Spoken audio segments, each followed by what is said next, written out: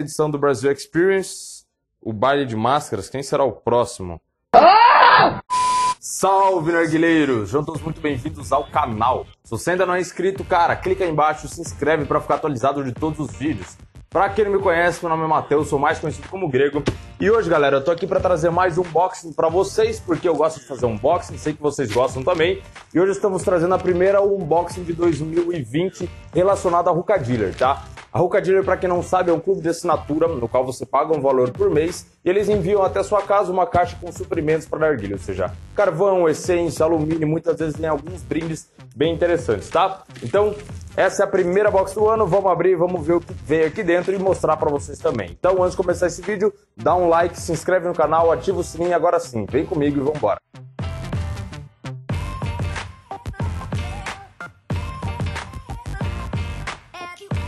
Vamos lá, galera. A caixa tá totalmente lacrada, tá? Quero mostrar para vocês. Ela vem com esse saquinho aqui, que é quase aquele envelope de Enem, né? Ou seja, uma vez lacrado, não tem como soltar. Quando soltar, você já abriu. Então, se vier rasgado, você sabe que teve alguma avaria, alguma coisa nesse sentido, tá?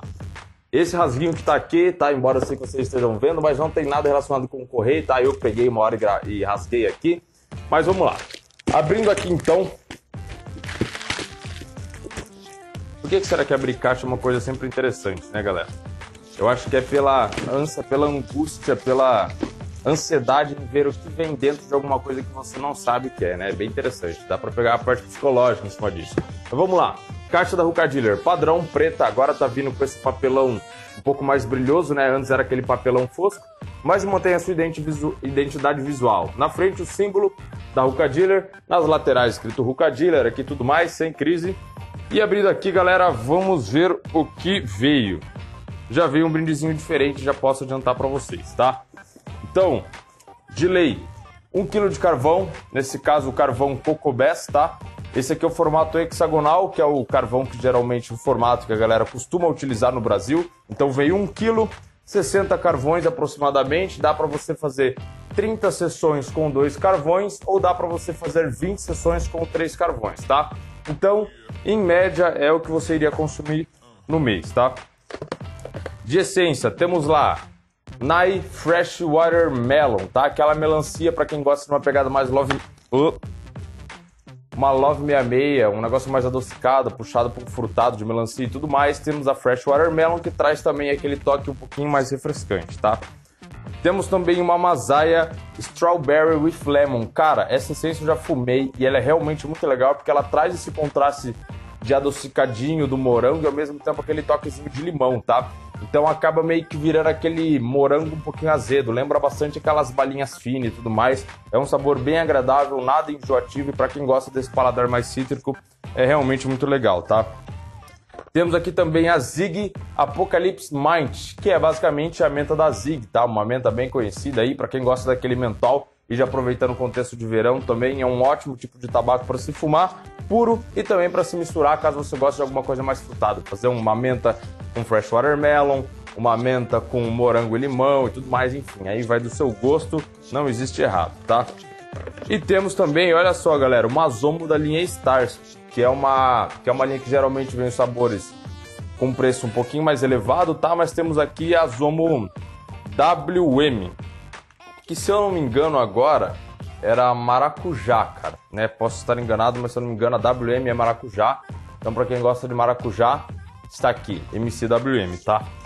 Veio também um furador, galera, olha que legal.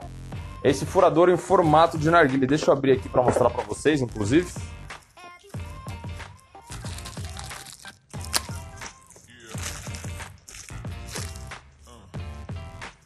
Olha só que legal, galera. Ele é um narguile, né? Vem nessa cor rosa. E você vira aqui, desrosqueia e ele sai a dar um stem dele seria o furador, tá? Então você consegue furar ali normalzinho, guarda ele, dá para você deixar em cima da sua estante, tudo mais, servindo como um enfeitinho. Tem um desse aqui preto, que tem até uma mesinha de madeira para ele, cara. Então, um furadorzinho bem legal aí. Temos também um copo da Ruka Dealer padrão que vem em toda a caixa da Ruka Dealer. E vieram também, cara, algumas revistas e mais algumas coisas aqui, tá? Então veio essa edição do Brasil Experience, o baile de máscaras. Quem será o próximo? É... Ah, tá. Aqui provavelmente, galera, a gente está falando a respeito da, da tentativa de proibição de comercialização e importação de tabacos aromatizados no Brasil, tá? Que pode interferir diretamente no nosso direito de poder fazer o consumo do narguilé, tá? Então provavelmente aqui nessa edição eles vão falar um pouquinho a respeito disso. É... Para quem não está sabendo ainda, existe a CIPA, que é uma associação de comerciantes e importadores de tabaco de produtos para narguilé né, no Brasil, que está lutando contra isso também. E vocês vão me ver participando lá também, porque eu tô junto com essa causa. Inclusive, vou deixar já arroba a Cipa Brasil, Underline Brasil, vai estar no cantinho. E vocês me verão lá na Cipa também, fechou?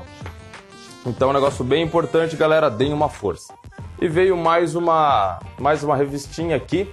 E dessa vez vocês conseguem ver que aqui no cantinho, olha só, veio esse papelzinho mais grosso, que nada mais é do que uma caixa de emergência de papel alumínio da Predator, tá?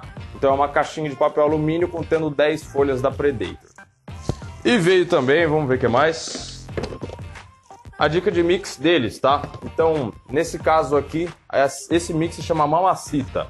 Meio Masai Strawberry Lemon e meia Zomo WM. Ou seja, você vai ter o morango, com o limão, trazendo um pouquinho aquele cítrico e o maracujá também. Então é basicamente um blend de frutas, tá? Vai ser uma coisa bem mais frutada, com aquele toquezinho de cítrico, enfim. Nunca experimentei esse mix, mas você pode experimentar e se você experimentar, deixa aí nos comentários pra gente, fechou?